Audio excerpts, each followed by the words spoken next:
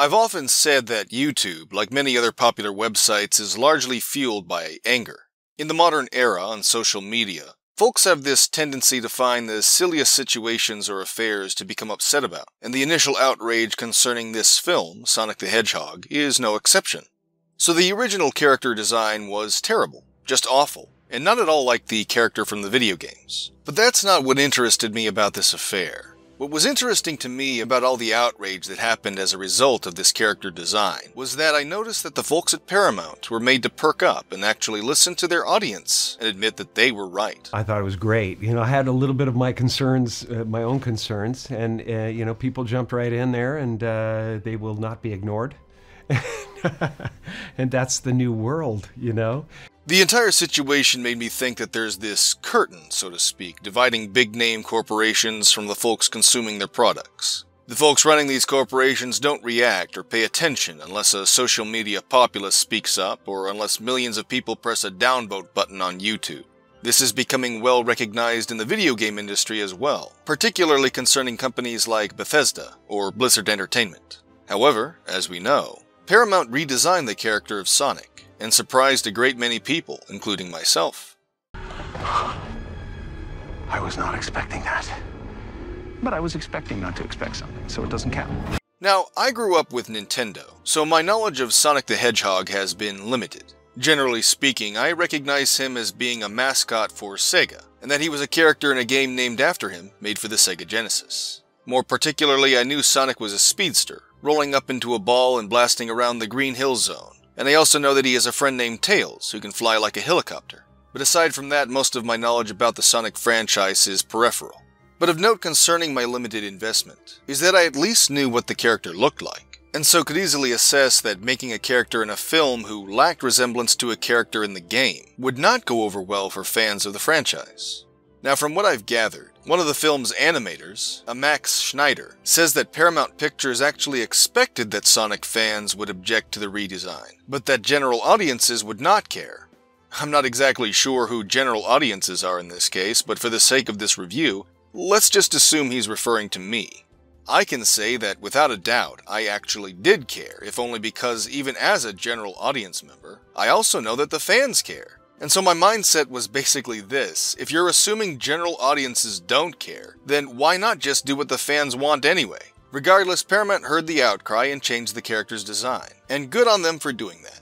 And I was genuinely taken aback when I saw the second trailer for the film show up on YouTube, and I said to myself, wait, did they change it? And lo and behold, I discovered that they did change it. And if I, a general audience member, was pleasantly surprised about this, then I can't imagine how the fans must have felt about it. And at that point, I decided I would go see it, in theaters.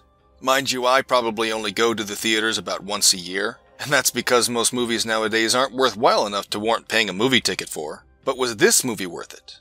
Yes. I can say without a doubt, as a general audience member, that Sonic the Hedgehog was thoroughly enjoyable and entertaining. But I was expecting not to expect something, so it doesn't count.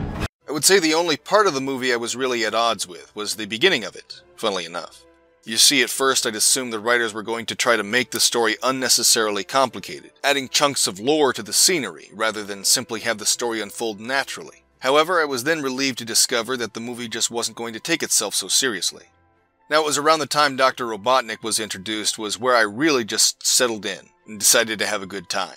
Jim Carrey was phenomenal in that role. There I was expecting him to play Robotnik in a manner similar to roles he played in Ace Ventura, Me, Myself, and Irene, or The Mask. But as Robotnik, Carrey managed to play a character who was ridiculously over the top, and yet not excessively so. In fact, as far as the entire film is concerned, there was a certain level of comedic ridiculousness to it all, and yet the movie didn't go overboard with it.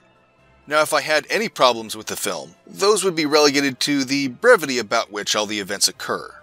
The friendship between Sonic and Tom Wachowski, for instance, happens over a very short time span. And note this isn't due any lack of quality in the film itself, as it had about a 90 minute running time. Unlike a television series where one has multiple opportunities for story breadth, I'm not sure what else could have been done to accentuate the relationship between Sonic and Tom, other than to cut some other scenes out. But in hindsight, I don't believe there were any scenes that were particularly relevant or unnecessary. Well, that's not entirely true. The only two scenes I felt were really awkwardly implemented were the ones from the trailer. I'm talking specifically about Sonic's quick visit to the world's largest rubber band ball, in addition to the scene where Robotnik receives a latte from Agent Stone. In the film, both of those situations feel strange and out of place, as if they were tailored exclusively to be put within a trailer. And given an interview I'd seen with Jim Carrey about his playing Robotnik, I'd also been led to believe that the whole latte thing was going to be a running gag throughout the movie. And, you know, another thing he really, really wants is to be able to get a latte the way he wants it with Austrian goat's milk. Thankfully, it was not, and I think Robotnik as a character fares far better for that. Nevertheless, there were multiple scenes where James Marsden, as Tom Wachowski, interacts with someone who is essentially a CGI character, and yet does so in a manner that makes the CGI character feel organic and real, and that was wonderful. All right, get in the truck. Really? You're gonna help me? I guess it is a little bit my fault that all this is happening to you. Not a little bit, entirely. It is entirely your okay, fault. It's entirely my fault. Are you coming? Yes. Road trip? Whoop whoop! What am I doing?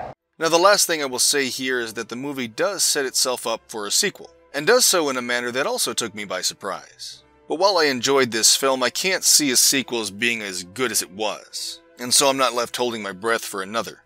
Now, so as not to get into any spoilers here, I won't go into the details as to why I don't think a sequel would work, but I'll probably make another video exploring my thoughts as to why. Ultimately, however, this movie was great fun, and I recommend it, even if you're not a fan and you're like me a member of this so called general audience. and that's the new world, you know?